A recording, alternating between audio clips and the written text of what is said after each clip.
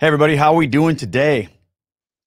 Welcome to my channel. If you're new here, I'm so thankful that you have found this video, that it made its way to you. And I'm just happy that you're here. Today I want to talk about how we find community, especially as Catholics, right? I mean, I've talked to a lot of people who have noticed the difference between going to church in your typical kind of modern evangelical Protestant church where it seems like everybody just wants to be your best friend. And you walk in the door and it feels just like you are the star of the show. And then you go to a Catholic church and nobody even cares that you're there. It seems like there's all sorts of differences that a lot of times we we find and when someone becomes convinced of the reality of Catholicism and then they decide, "Hey, I want to become Catholic." They can sometimes have these bright eyes and expectations and come into the Catholic Church with this, with like, I'm here, this is awesome. And then they realize that it's kind of different. And oftentimes people struggle with that finding uh, community. And yes, we are live right now. So um, I want to share with you guys a few things about it, and then uh, maybe here's some questions or listen to you guys. But I mean, if you're if you're a convert, especially, raise your hand right now if you have felt like it's a completely different world when it comes to um, finding community. A lot of times in in Protestant churches, there is such an emphasis placed on small groups and fellowship. I know that uh, Estelle was a small group coordinator for uh, a couple of the churches that that we were at, and that's what she did.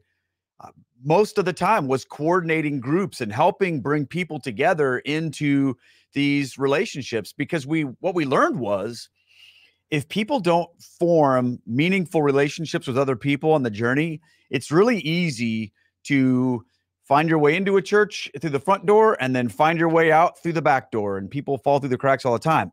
But in Catholicism, there doesn't seem to be that same type of emphasis. There doesn't seem to be that same type of priority placed on those things. now, I do realize that there are always exceptions to this.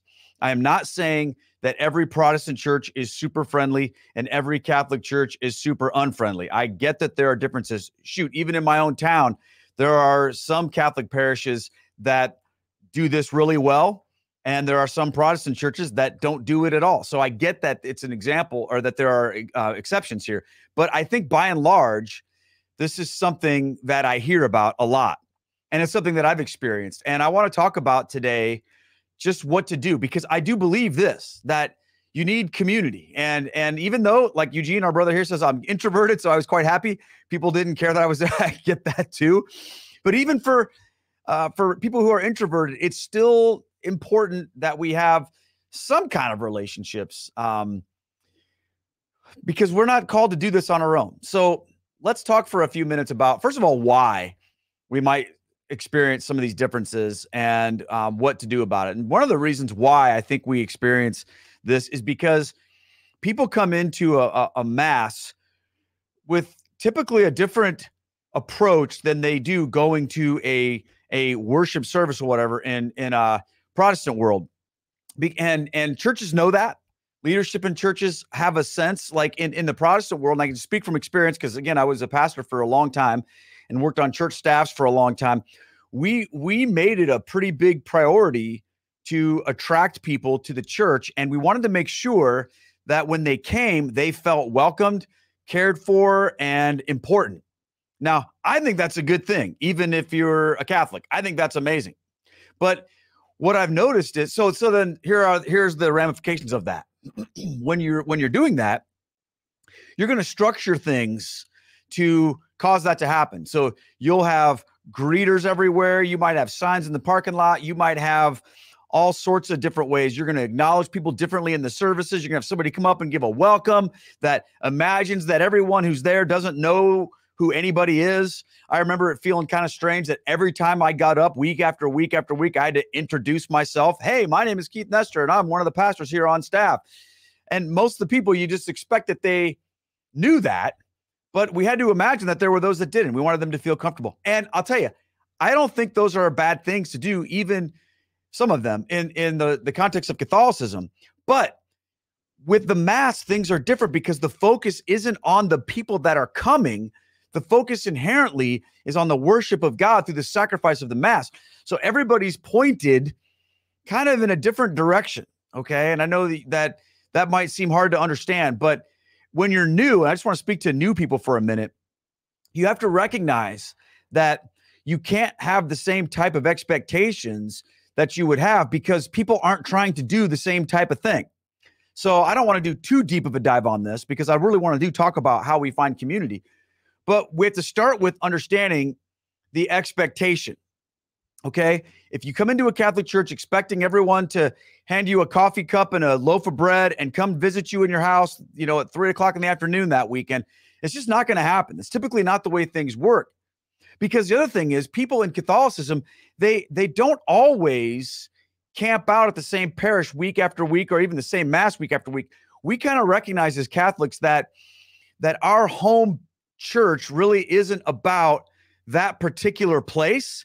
Our home church is anywhere there's a priest and a tabernacle. So we can feel free to sort of roam a little bit and bounce around. And there isn't like this pressure put on us to be in the same place every week at the same time. And that's a little different in the Protestant world. Like in the Protestant world, you join a particular church, and that's where you promise to be and be plugged in and all that. And I think people do that in parishes too, but it's just it's just not the same. And I think you know what I'm talking about. So I'll give you a great example. Last week, we went to our Sunday evening mass, which is at like five o'clock at night or 5:30 at night. They call it the last chance mass because in the city where we live, it's kind of the last one. So what we saw, and we never go to that mass because we always go to the to a mass early in the morning, but we were traveling. So we went to the parish, we got there, and it was packed. We had to sit in the very last row. We got there, you know, right about as the time it was starting, and I couldn't believe it. And what you see when you go to that mass are people from all over the city, all different parishes that have come together because that was the time that was going to work for them. And that is kind of a, a normative thing in, in Catholicism. People will bounce around depending on what's going to be working for their schedule or whatever. So it's going to happen. Now, this is not a talk about whether or not parishes should be friendly. Of course, they should be. Everyone needs to own that. That's not just something that a church staff needs to uh, own. That's as much on me as a parishioner as it is on the priest or the staff people of the church. We all need to create that in that hospitable environment where we're all looking for people and and friendly and open and inviting. We just need to do that. But w- what do we do when we're trying to find this community? When we come together, like let's say we're a convert, okay? Like I was and some of you were, um, and you're coming into this, and it's like, why, you know, why is it so hard? I, I don't, there's not like a bunch of small groups there's no one trying to plug me in. There's no one that seems to notice I'm here and there. Like, what do I need to do? So I want to talk about that for for a couple minutes. Now that we've established maybe the the reason why, and I think it's important to establish that reason because here's the reason why it's not. Okay, it's not because the Catholic Church doesn't like people or is mean or is inhospitable. Right? Some people say things like that. Oh, I went to the Catholic Church and Nobody even cared that I was there. Well, as you just saw, like our friend Eugene, he's like, I didn't want anybody to know I was there. And I I knew like I was that way too. When I was kind of exploring things, I didn't want anyone to make a big deal out of the fact that I was there. And so sometimes people are looking for that, sometimes they're not. But one thing that I heard recently from someone who was is a Protestant guy, it's actually a ministry, and he was exploring Catholicism a little bit, he said he went into a Catholic church and he was so impressed that nobody cared that he was there. Not because he didn't want there to be a inhospitable environment, but he said, I walked in and he goes, I felt so small. And that was a good thing because he was blown away by the grandeur and the beauty and the power of the Mass. And he was like, wow, this is really, truly about God and I don't feel like I'm going into an infomercial TED talk. And sometimes that can happen. And I know I, keep I'm kind of getting a little some tangents here, but just bear with me here. I'll get to my little practical steps here. But I want to I want to say something about that because it's important. Sometimes people can can make the programs of their church more important than the purpose of their church. All right, I'll give you I'll give you an example. Many years ago, um, I was in a really rough spot, and Estelle and I were in a really rough spot, and we went to go to church one time, and I was and I was like, we were off from that Sunday. This is back when I was still in ministry or whatever, and I'm like, we just need to go to church where we can just be ministered to, and so we drove out of town so that nobody would know us, and we just needed to worship God and be blessed by going to a worship service. And we went to this mega church that was in a different city. And we just, we were hurting and we needed to feel the presence of God. And we walked in, and every time we turned around, somebody was handing us some kind of flyer or brochure about something they wanted us to do. Somebody was trying to get us to come over to a booth to fill out a bunch of stuff and give them a bunch of information and plug us in to some kind of program, which we didn't want to do that. All right. And every time we turned around, there was like, "Hey, welcome. I'm so and so. What's your name? Tell me about your family. Who are you?" And and I get that, but we weren't interested. We went we sat in the back, and we waited for the thing to start. And when the church service finally started, it was one infomercial after another on the video screen. Hey, let me tell you about this new thing that we're doing, and we'd love to get you to sign up. Now here comes Joe to tell you more about it. And then this guy would get up and he would talk about it. And then some woman came out and shared another thing. And then some guy cut up and talked about the thing they had going on next week. And it was literally like a gigantic infomercial that led into a couple of worship songs and then a TED talk from the pastor who also talked about like his sermon that week wasn't about the gospel. It wasn't about the Lord. It was about how their church was awesome and they had all these things that they were going to do and how we needed to all become a part of it. And I just needed Jesus that day. And I'm not trying to be a complainer, but I didn't get him. I didn't get him. And we walked out of there more discouraged and depressed. And I'll tell you this that has never happened to me one time going to Mass. Now, I'm not saying that all the Masses I've ever been to have been executed perfectly and there hasn't ever been like hokey music and some dorky announcements or whatever. Those things have happened. But every single mass I've been to, I've encountered the living God because the liturgy and the Eucharist, no matter what else is going on, that's going to happen and that's going to be the focus. And when that's the focus, my friends, that means that all the other junk going on in the church isn't going to take the place of it. Now, you might have all that stuff, and that's fine. I get it. Okay. But you're, you're going to know that's going to happen. So, a lot of disclaimers in this video. Sorry about that. But here's what I, I think it's important to set the stage. So here's what you need to do. If you are a person who's like, man, okay, I'm all in on Catholicism. I want to do this, but man, I don't, I don't want to feel alone. I don't want to feel like I'm on my own. I want to like get plugged in and meet some people and find this community that's so amazing. Because imagine what it's like when you've left all of that that you had in the Protestant world or in the secular world and you've come into the church and you want to give your life to to to to the Lord here and you want to make this the center of your life, but yet you you want to find community. What do you do as a Catholic? All right. And I'm going to give you four things, okay? And then maybe some more as we interact on this together. The first one is this. As much as you can, be consistent with the mass that you attend. Okay. I, I know I just got done saying that it's okay to bounce around and go to different things. I get that. You totally can. But as much as you can, try to be consistent. Because let's face it, the place you're going to interact with most with most people is going to be in the environment where you are. And if you aren't there consistently, then it's going to be tough for that to happen. So Try to find a, a time and a place that works for you and go there and be consistent with that. And I would add to that, you know, don't don't show up right as it's starting and walk out right as it's ending. Consistently be around.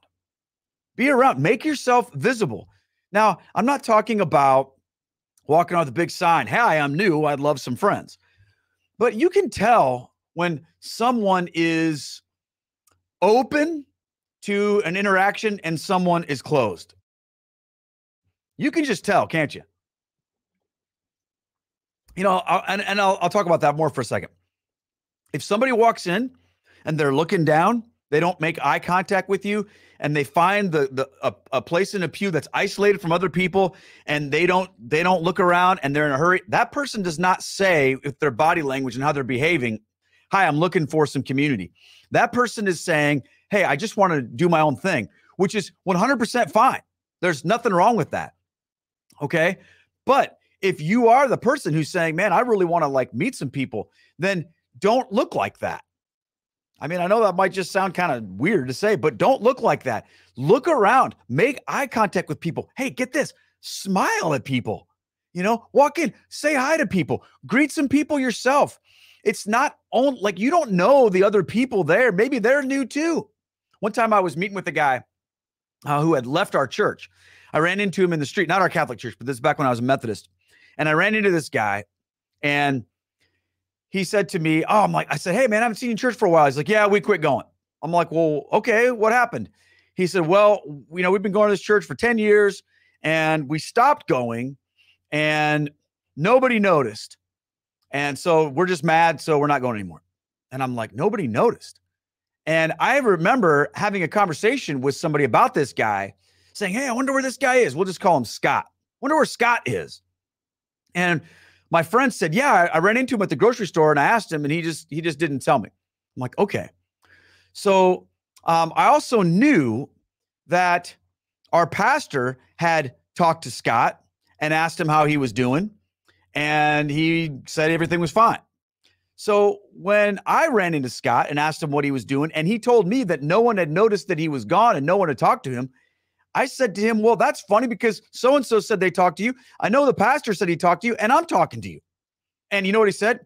He's like, Well, that doesn't count. I'm like, Oh, well, that doesn't count. Well, what does that mean? You know, I, I think sometimes we can we can just be in a place where we go, look, I just don't want to have these relationships here, and I'm going to be salty about it.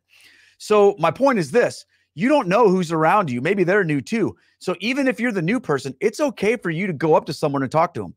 It's okay for you to kind of be hanging around. So be consistent and be open, be willing and stick around for a little bit afterwards and, and get there a little bit early and be willing to talk to some people. You don't have to sit in a pew all by yourself. And it always kind of, I don't know, it's just weird to me when you go into a big church, especially, and there's all these single people sitting or couples in the pews right by the edge, but then there's like nobody, and then one guy at the very end. And it's like if you go to sit next to somebody in a pew, people are just like, "What's up with that?" It's okay for you to sit near another person, and then that gives you an opportunity to talk to people. So be consistent, be around, and don't like put off the vibe of get away from me. We all know when people look like that. Okay. Okay. Next thing, number two, I see some of you guys are are um are are saying this in the comments. Start going to stuff. Start going to stuff, even if it isn't your favorite thing to do. Go. All right. Now, look in your bulletin, look on the bulletin board, look on the website, find out where people are gathering and go. Now, I know you might be thinking, but Keith, I don't want to play bingo. I, I became Catholic and I swore I would never play bingo. But you know what? I don't play bingo either, and I've never gone to a bingo thing. I've honestly, I've never seen that in my church. We don't do that, but it's sort of the generic Catholic fellowship thing. But there have been other things that have been happened um, that have that have happened in my church where I'm like, all right, this isn't really my jam, but I'm gonna go just because I want us to like meet some people, and that's okay. The point of it isn't the thing that you're going to do. The point of it is to go and meet some people and be around. So, you know, if it is bingo, then do it. If it's getting together and and uh, doing some kind of service project in the church, just go. Find where people are gathering and get there. It's not going to kill you to go and do something. Okay, start going to stuff. I know it takes effort. Here's the deal: community, finding community takes effort. It doesn't just happen automatically. I don't care what situation you're in, what church you go to. If you want to be in relationship, if you want to be in community, you're going to have to put yourself out there. And, and, and I encourage you to do that. So try to like figure out where you can go. This this happened to me when, when I was a new Catholic in my in my own neighborhood. A couple of these things, you know, kind of came together here. I'll coalesce point two and uh, point three here at the same time.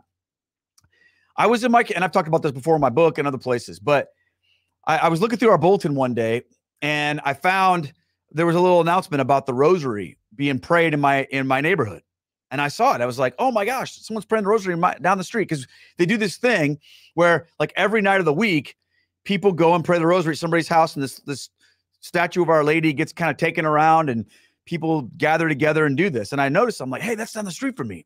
So I thought to myself, all right, I'm gonna go. I asked my family, I said, hey, you guys want to come with me? And they're all like, no, we're not going to that. We don't. We're, we're, we're, we're that's just weird to go to somebody's house you don't know. I'm like, I'm going. So I walked down the street and I knocked on the door, and this woman answered the door, and she invited me into her house. She said, Can I help? I said, Yeah, I'm here to pray the rosary. She said, Great, come on in. And we prayed the rosary. And, you know, I, I, it was a little bit out of my comfort zone. This is before the rosary crew. This is before I was like more comfortable with that kind of stuff. But I just wanted to like find out where people were to go and do this. And what I discovered was that there are people gathering in the parish in small groups, in Bible studies, in prayer groups. I just didn't know about it because I hadn't really looked for it. But once I found it, then I was like, oh, okay. Now I had known about our little men's group on Tuesday mornings. I was going to that. But I when I started looking, I found these things that were happening. I just had to decide to get out of my house and go and and find it. And that's what I would encourage you to do look for stuff that's going on and go. Now, even if you're like, well, it's not my jam, doesn't matter. Your jam is to find community. So go do that. Now, I'm going to say that the next point here is let God pick your community. All right. Now, this is a big one, probably the most important one. So when I went into this house, I walked in. Now, at, th- at that time, this was, you know, maybe six years ago, I was, you know, in my early 40s. I'm in my late 40s now. So, um, but everybody that was there that night to pray the rosary was probably older than my parents. Okay. So it was not my crew of people from the standpoint of like, these weren't people that I would normally hang out with because they, you know, they're a lot older than me and, you know, whatever, whatever. But here's the deal that didn't matter because we were there to pray the rosary and we did. And I had a great time and I met these people and it was awesome. And every time that I walk by that woman's house and she's out there, I wave at her. And I see her in church and, you know, I made a friend. When we pick our own community, oftentimes what we do is we pick or we look for people just like us. And we've decided that that's who we can be in community with and, you know, not really anybody else. and part of that, I learned, I don't know about you, but I learned that from church because in every church that I went to up until that, every small group kind of situation was divided by life stage, we called it. So if you were, you know, in high school, you were in a particular group. If you were a young single college man, you were in a particular group. If you were young married, you had a particular group. So I, th- I think you get what I'm saying here. You know, the moms with little kids, they had their group, and the middle aged dudes had their group, you know, and there's nothing inherently wrong with that. But what I will say is this if that's what you limit yourself to in the Catholic Church, you're missing out big time because some of the most meaningful relationships that I have enjoyed and continue to enjoy as a Catholic are with people that would never have been put into a small group with me in any other church. So there's a difference between saying, I can't find community and saying, I can't find the type of community with people just exactly like me. And what I'm saying is, let go of that and let God pick your friends. Let God pick your community. Let God guide you to the people that He wants to put in your path and wants you to be in their path because He's got a plan for that. But if you put a box around that, then you're going to miss out. You're going to miss out and that's huge so when you when you come into the situation you've got to have eyes wide open you've got to say god i'm part of something that's bigger than a little social gathering i'm part of of this amazing family of faith and there's all different types of people in this family of faith and you know what that's scriptural my friends You know, the Bible says that that older men should mentor younger men and older women should mentor younger women. But how rare is it that in most churches to see that happening because we tend to separate everybody. You know, all the older ladies are over here making quilts and all the younger women are over here watching their kids play and drinking wine. I don't know. Probably not at the same time. But I think you get what, what I'm talking about, right? You got the Knights of Columbus dudes that are making pancakes, and you got the younger dudes that are drinking bourbon and smoking cigars and talking about Lord of the Rings. I mean, we, we've got these little subgroups that we put everybody in. And my point is this if, if that's what you have, okay. But don't limit yourself. Don't limit yourself because God may want to bring someone into your life to be Jesus to you in a way that the person that's just like you can't. And I've experienced that in Catholicism in many, many, many profound ways. Friends, we're to be mentored. Now, and this goes to the next point, okay? And this is the last one. Number four is this start looking for ways that you can serve other people, right? So you might be walking around going, why is nobody trying to to serve me? Why is nobody trying to to cater to me? Right? And I understand that. But what would it look like if you decided that you are going to be available to God to meet the needs of other people and to go and serve? I guarantee you, my friends, God is going to use that. So if you start looking around, I used to tell the kids when I was a youth pastor, I would tell the kids, like in, especially like in junior high, when they're like, oh, I don't have any friends, I don't have any friends. I'd say, look, or they'd say, I'm trying to invite people to come to church, but all my friends already go to another church. And I would say, well, then go invite the people that nobody's inviting. And I tell you what, our little youth group of 12 kids blew up to about 300 kids because I convinced about 20 of them to start reaching out to the people that nobody else was reaching out to. And you know what? They did, and it worked. Now, I know those are that's a little bit different scenario here. But my point is this, everybody that's in your parish needs somebody. And there's probably somebody in your parish right now that feels alone, that feels like nobody cares, that needs somebody and maybe they are a hard person to love if you get my drift. What I'm saying is this you be that person to go love them. Because if you come into this thinking it's all about you, then you've already lost half the battle. But if you go into this being willing to lay down your life for the sake of the gospel, you see, there's lots of different ways that plays out. You know, and Jesus said, Whoever seeks to save his life will lose it. Whoever loses his life for my sake will find it. That applies in this scenario. If you walk in and you're like, Oh, I want to be at the cool kids table in the parish, because even though you're an adult, and there's no table, it still feels like that sometimes, right? But if you're willing to say, I'm going to reach out to the least of these, I'm going to befriend that person that nobody else seems to want to be friends with. I'm telling you what, right now, God is going to use you in powerful ways, and you are going to be super busy, and it'll be amazing. It'll be amazing. And I think that what you'll discover is that's how we let God pick our community. Is it it becomes from an it it, it begins as an act of self-sacrifice, not an act of self-gratification. And the problem in the American church, whether it be Catholic or Protestant, is that everybody's showing up looking to gratify themselves. What do I get out of it? Go ask the go ask people who are bouncing around all the time why they're leaving their church or their parish and going to the next one. And oftentimes they say things like this. I just wasn't being fed, or I just wasn't getting anything out of it. And, you know, that may be true. I'm not saying that that's never a valid thing to say, most times, and I'm speaking generally here, most times what that means is hey, I wasn't a big enough deal. People weren't doing what I wanted to do. Things weren't the way that I wanted them to be.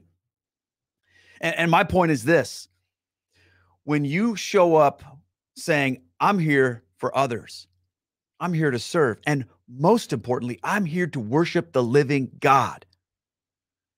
That's true, man, you're going to find community.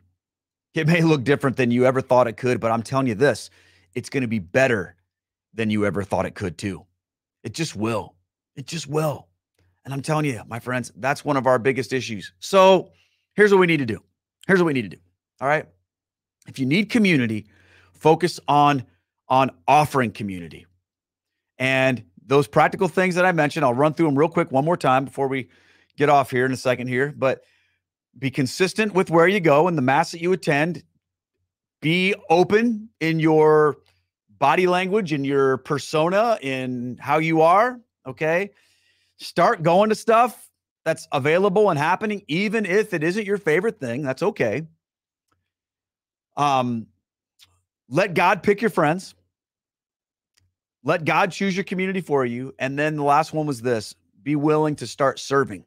And once you kind of get into that place, oh man, it'll be absolutely awesome. All right, friends, that's kind of the end of my little presentation. So I, I would love to sort of um, interact with your comments here um, a little bit. How's everybody else doing? Do, do you guys have um, have suggestions? Oh, here's a great suggestion from from a man. It's to start a group to pray for your bishop and priests.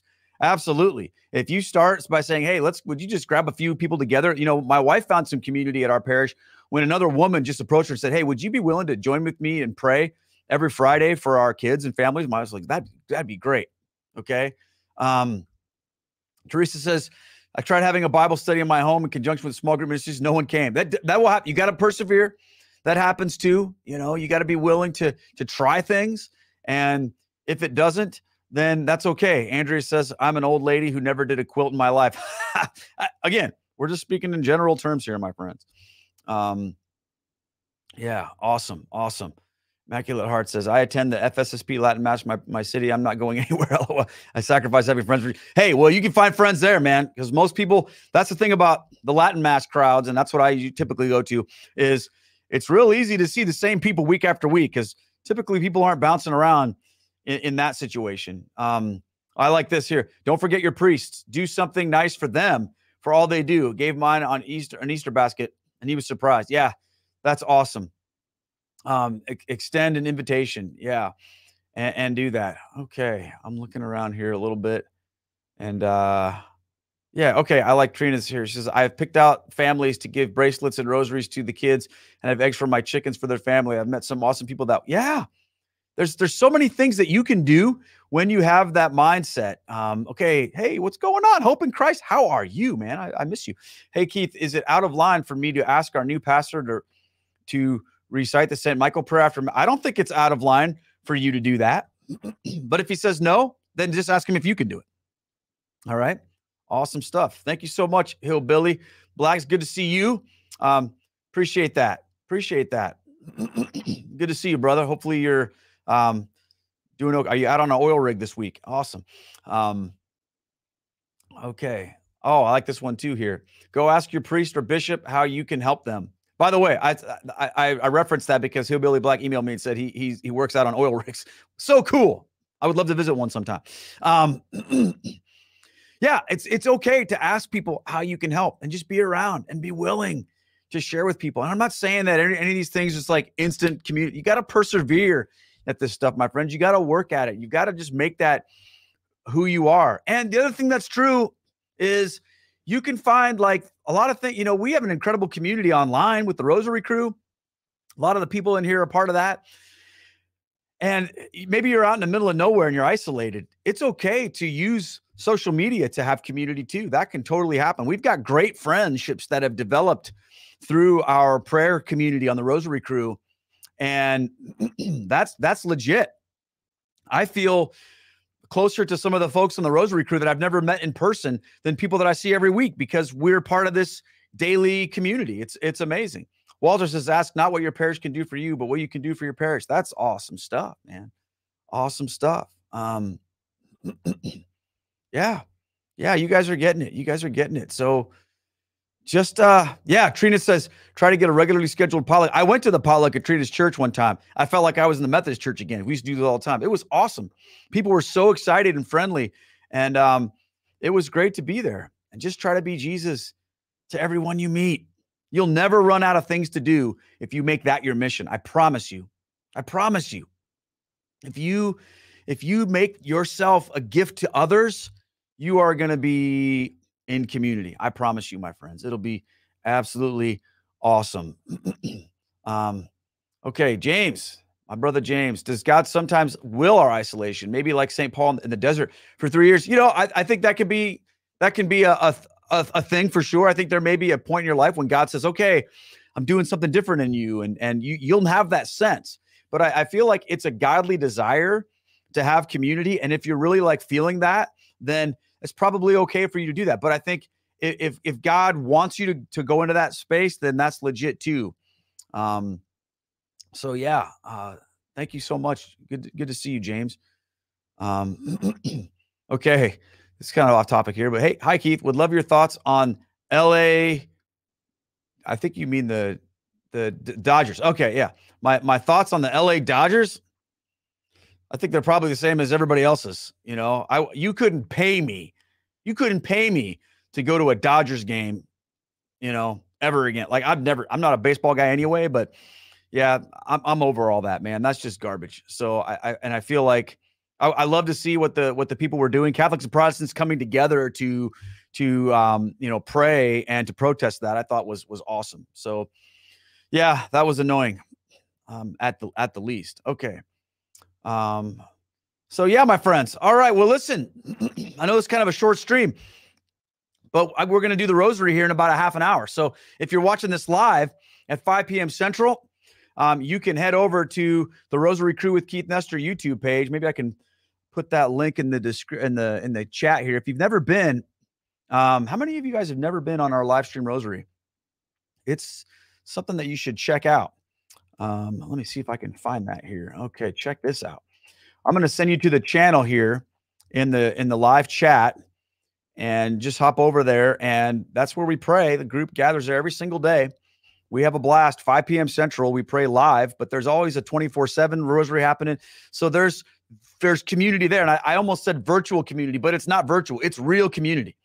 So if you need somebody to pray for you or with you, you can always hop in the 24 7. And especially during our live streams, um, you can be there. It'll be absolutely awesome. But I'm going to get going because we're going to get ready for that. So thanks you guys for jumping on here. I'm going to try to do more of these sort of impromptu lives with the topic. Oh man, next week, dude, the 27th, you're going to want to be here. The 27th at 2 p.m. G- Gabriel Castillo from Gabi After Hours YouTube channel, which is probably my favorite YouTube channel on YouTube. Um, Gabriel's going to be with me at, at two o'clock on the 27th, and we're going to have a live stream conversation about the luminous mysteries. Now, if you're not a rosary person, you're probably like, what in the world? But we're going to tackle this issue of whether or not we should be praying the luminous mysteries. For some of you, realize that's kind of a bone of contention. A lot of people are just like, ah, you know, don't do that. Um, spoiler alert, you know, we pray the luminous mysteries. Um, I've never met a guy more devoted to the rosary than than Gabe. And um, so we're going to have a live conversation about that here, and you guys will get to answer questions. I put that on my um, it's already on YouTube like in the playlist question about Catholicism. The stream's already there. So you can make sure you get notifications. And if you haven't subscribed yet to this channel, please do so. I'm not a big like, hey, everybody subscribe thing, but that would really that would really be awesome. I would appreciate that. And if you want more info about our ministry, um, there's a link to, or a, a, little banner down here, down to earthministry.org. You can find out more about what's going on here. But I'm going to try to do more of these little impromptu live streams in the afternoon. You guys are um, you guys are awesome. I appreciate you taking time to hop in here. And um, I'll see you guys back here soon. We're going to pray the rosary again here very shortly. Um, and then I'll see you guys back. I may even do another one of these later on in the week. So just pay attention, put your notifications on, and you'll be notified. Thanks so much for being here. If you're watching in the comments later, or if you're watching later, not live, leave in the comments some other tips that you have um, for how to find community. What's worked for you? What's been some, your experience? And I'd love to to follow up on that with you. So thank you guys so much. Take care and God bless. Have a great day, everybody.